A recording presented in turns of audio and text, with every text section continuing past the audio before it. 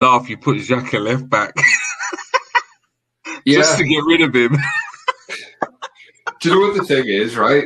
I had to put him at left back. I know, just to get him in the into the team because I have Elneny and Ceballos in midfield. I had to get him in there somewhere. Oh, absolutely Why not? funny. You got to put him in one back. team just to get rid of